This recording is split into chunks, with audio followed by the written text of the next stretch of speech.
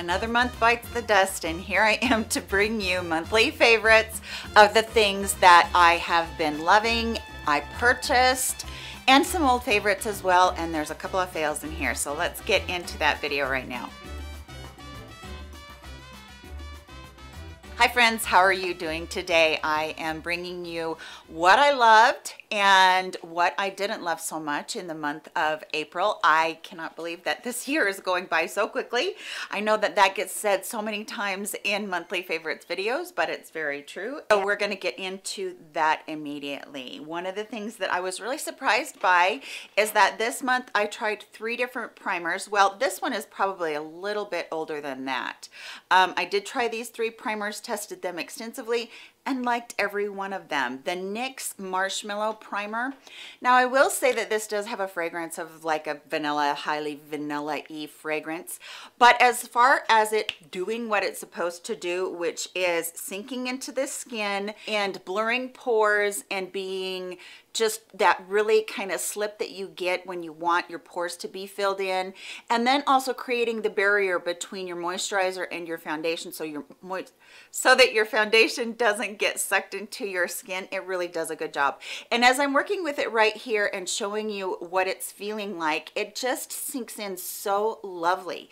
And then it's left with that beautiful blurring property. And like I said there is quite a strong fragrance in here. So if you have an adherence to fragrance or you really just don't like them at all, you know, maybe an allergy when there's fragrance, then this is probably not for you. But I really have been enjoying it and I know that they do have the sample size, not a sample size, but a deluxe size that you can try it out if you don't want to do that because this is kind of a little bit more pricey. But things at the drugstore seem to be getting kind of pricey these days. The other one that I really like a lot is these this mousse one from Flower Beauty. So this one is, I got to put glasses on for this. This one is their Supernova Celestial Priming Whip. So it comes in the purple bottle and it looks just like a mousse that you would put on your hair. And actually when you pour it out, it comes out like a mousse just the same way. Now, what I do is I actually put those two primers together because this one is going to have just the most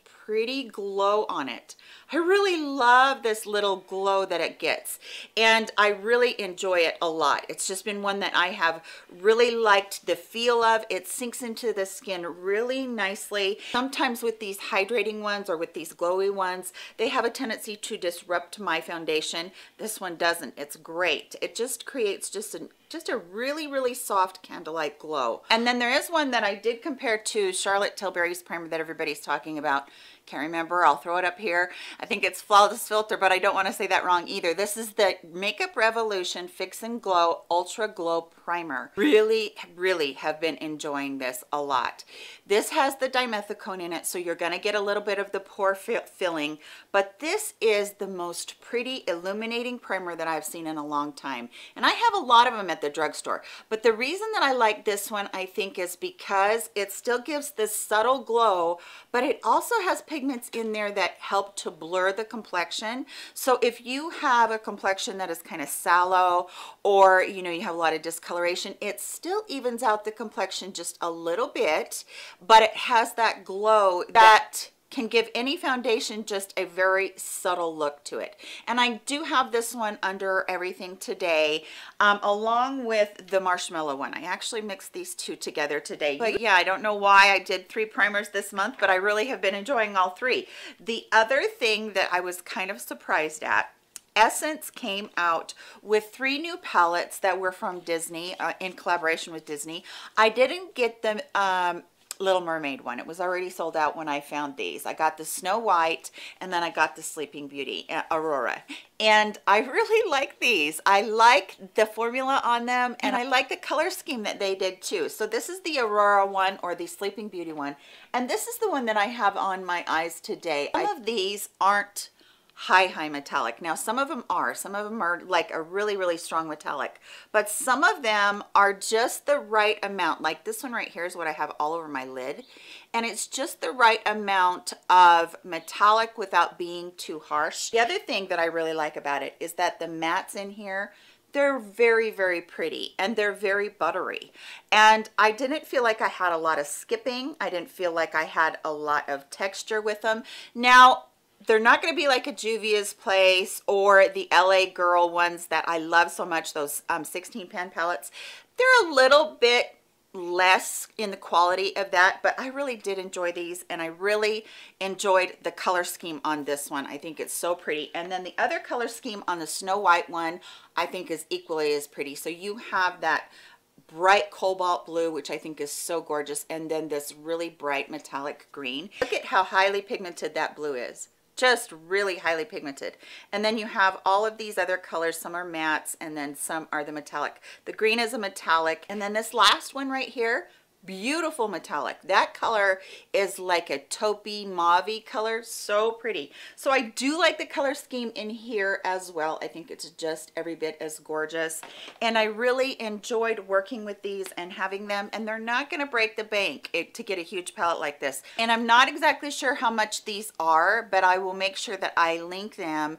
And they were out at ulta but you can still order them on the essence website. So I really did enjoy that. Let's talk about a fail, and this is an eyeshadow fail. Here is the new palettes that LA Girl did just come out with. These are the new 16 pan palettes. I'll tell you why they're a fail. Number one is that every dang time I get these from Ulta, they do not package them well enough. I don't know exactly what's going on, but Ulta packaged these terrible. I mean, they're awful when they get packaged and sent. So what I do love about the LA Girl 16 pan palettes, gorgeous, huge mirror. Packaging is very heavy duty. And I usually love the color scheme that they go for. When you're looking at this, if you, these are your colors, this is gonna be fine. But here's what got me this time on these two palettes. Number one, when you put out a palette in summertime, wouldn't you think, and especially with the, the name Hey Hey Vacay eyeshadow palettes, wouldn't you think that it would be a summertime scheme?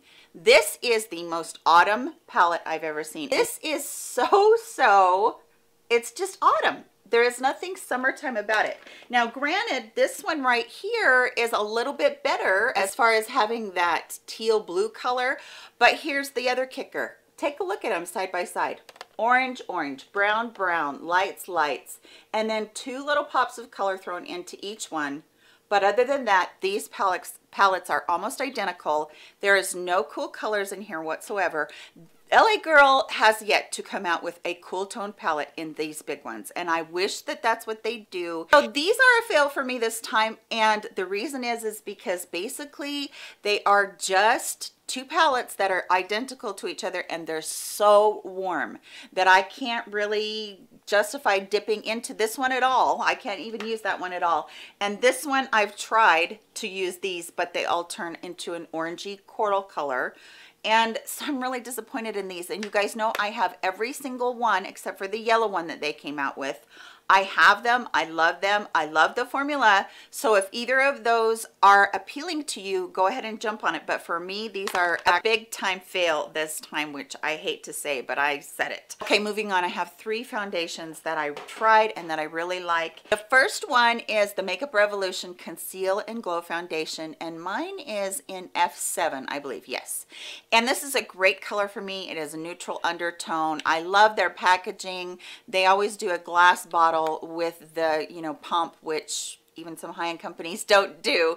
But I really enjoy this foundation. It's a beautiful foundation that goes so pretty on my skin. Now I don't have it on today because I'm testing something else but this is a great foundation for coverage. But if you like a dewy skin foundation this is going to be your foundation it covers like a dream. It doesn't settle into any of my fine lines. It didn't show up any texture. And it lasts a really good long time throughout the day. Usually glowing or glowy satiny foundations don't last that long, but this one did great. And I was so happy to find this and I love a dewy foundation. Now I know in summertime it's a little bit harder if you're oily skin or if you have combo skin to wear these kinds of foundations but if you have dry to normal skin I think you're gonna absolutely love it. Now in the case that you do have dry to normal skin and that's not a foundation that you could wear, I bet you can wear this one. And I am in love with the Sephora Best Skin Ever foundation. This is one of the prettiest foundations that I found in a long time. And I compare this to the Zoeva Authentic Skin or the NARS Radiant Foundation, which both of those are beautiful foundations. They cover my imperfections. They even out my skin tone. That's what this one does. And this one gives you just a skin-like finish without using very much product at all. Now, as I'm using it and I'm working it across my hand, it looks so gorgeous. Even the feel of it is absolutely gorgeous. It's not like a super thin foundation, but it's not thick either. And as you work it into your skin, it completely makes you look like you have your best skin ever, just like it says.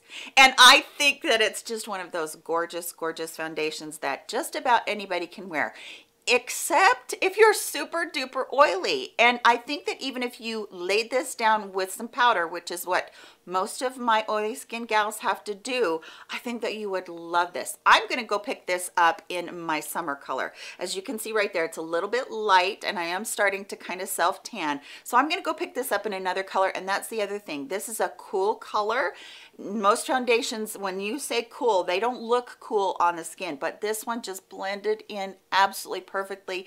I found my perfect shade. I think they have a ton of shades in this and i think that you'll really like it. Again glass bottle with a pump and i just love it. This is probably my number one pick for foundation this time. Now this next thing is something that I found on TikTok and then I heard Risa does makeup talk about it and I wanted to try it so bad. Okay, I first got the color, I think this is light 010 Nope, this is light 010. And then I went back and I got these two colors because I knew I was going to be doing, you know, self-tanning and I wanted a little bit darker. So this color right here, which is light 018, this one, first one, 010, way too light. This one is my perfect for winter when I don't self-tan.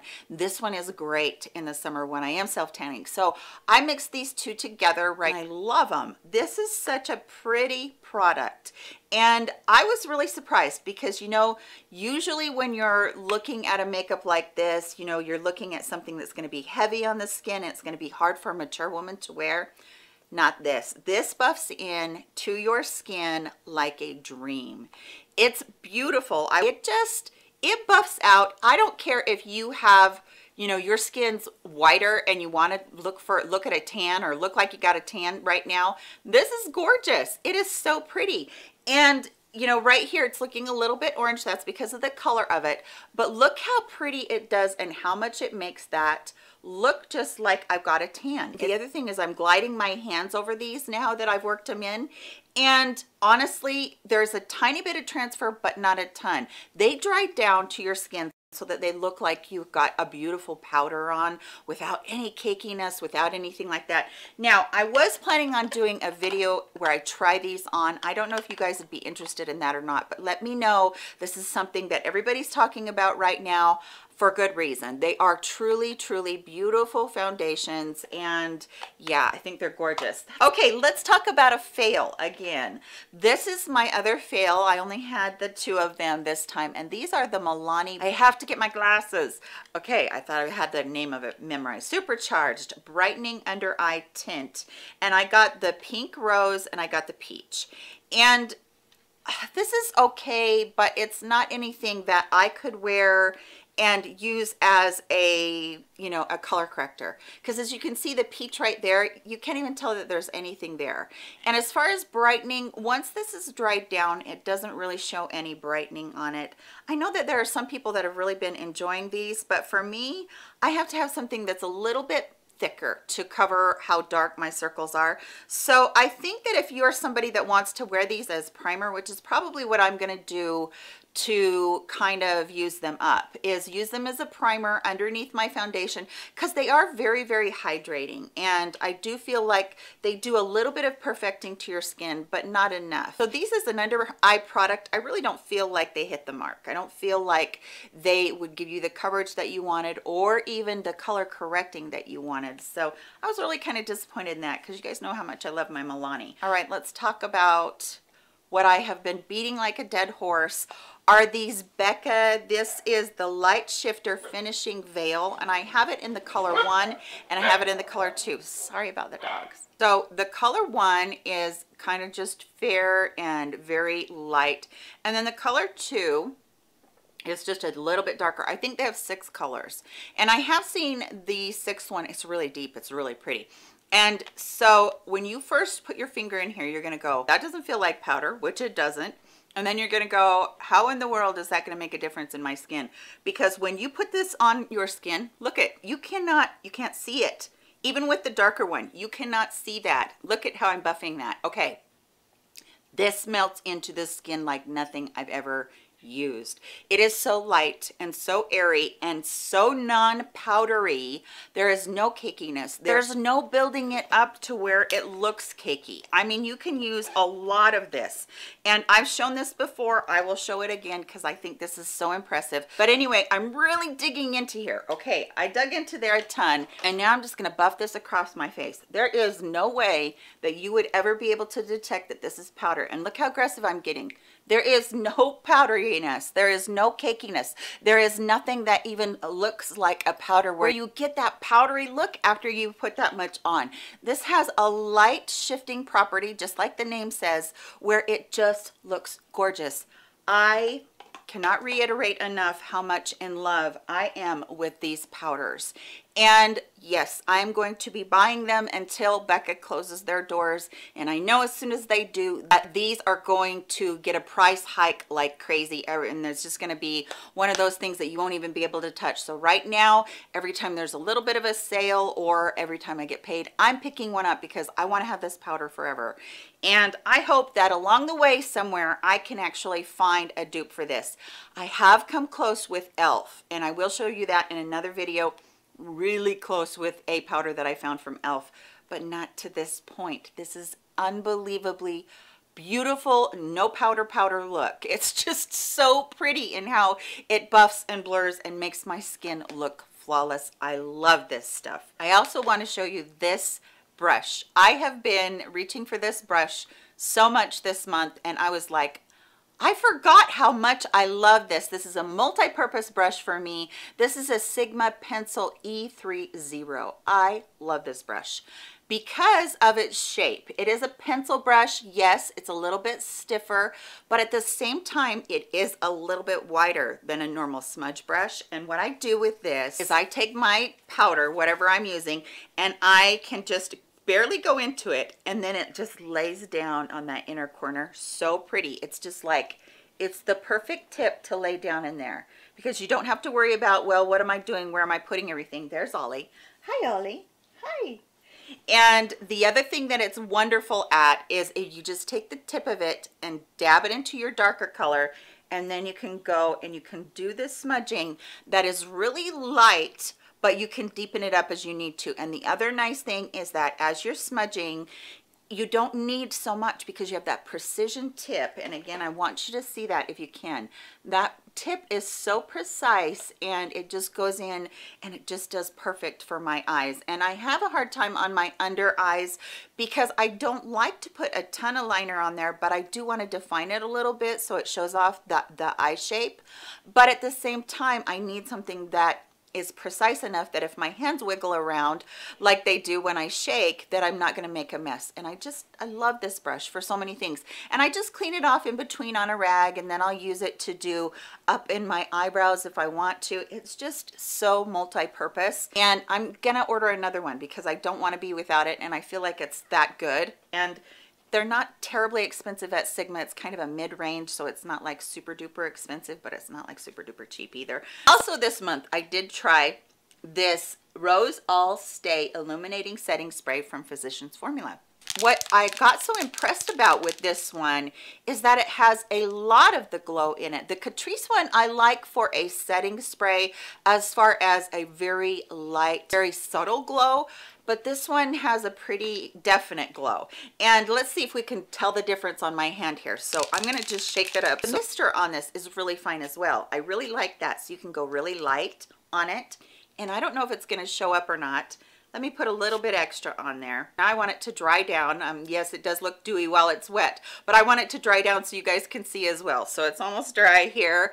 And then you, you hopefully you can see what it does. It does give a beautiful glowy look and it has a lot more if you can see on the bottom there when you look at the Catrice one it just has a little bit of the pearlescent looking at this one don't mess around it has a lot of that pearlescent rose look it does have a teeny tiny little rose fragrance to it but it's not overwhelming and like now I can't smell it all I can smell is the marshmallow but I can't smell the rose anyway. So for me, this dissipates really quickly as far as the smell goes. And then it just, it leaves a beautiful glow. Can you see that glow on there? And I, yes, I did clean it off after the Makeup Revolution one and the other one that I used. So this is definitely worth looking into. If you like Physicians Formula, I think you'll love this stuff. All right, next thing is a eye cream. I know I talk about this, but lately I have been just having a whole new appreciation for the Sukoyaka Suhada Urea Eye Cream. I know, I know, I know. I talk about this so much, but I love this stuff to death. It is a very, very super duper hydrating concentrate eye cream that will puff up your wrinkles and really go in there and just really hydrate them so that you don't look like you're the crypt keeper. I know I say that all the time in my videos. When I get this under eye area going, it looks terrible because I have such bad wrinkles. And yeah, I want to do Botox and, you know, get them all plumped up, but I can't afford it. And I don't know really if I want to take the chance on that. So this stuff is my saving grace because it hydrates, hydrates, hydrates. It's so soothing. If I have a day where I really just cannot handle my retin-A use and my or my tretinoin and just really, you know, irritated my eyes and they just really feel dry and irritated around them, this is amazing. It just is so hydrating. And this is going to be an all-day hydration. You know how some of them you put them on, they feel great even for an hour afterwards and then like one, two o'clock, you're going, oh my gosh, my under eyes look bad. It feels so dry and this is all day hydration. I swear by it. I just love it. These products from them are some of the best hydrating products I've ever found. So if you're a dry skin gal, even if you're not a dry skin gal, I want to say if you're an oily skin gal, but you suffer from horrible creep, crinkling around here, still give this a try because it's all about being dehydrated. You can be oily. Somebody reminded me of this very recently. You can be oily and still have dehydrated skin. So try this. And I think that you will be pleasantly surprised at how amazing it is on your skin and what it does for those fine lines and wrinkles underneath your makeup, underneath your concealer. It just really gives you this gorgeous base that you can go on top of and, you know, have your concealer look halfway decent because that's more of the struggle that we have than just about anything is this area right here. Love it, love it, love it. Can't say enough good about it. I know I talk about it often, but I have had a whole new appreciation for it recently with my new skincare regimen that I just showed you guys in another video. That's what I wanted to talk about this month. Those are the things that I found that I love. Have you found things that you love this month? I would love to hear about those in the comment section below. I love the interchange that we get going. Please ask any questions that you have about any of that you have about any of these products and let me know. Thanks, guys, for spending a little bit of your day with me. Stay happy, stay healthy, stay safe, and I'll catch you all in my next video. Love you much. Bye-bye.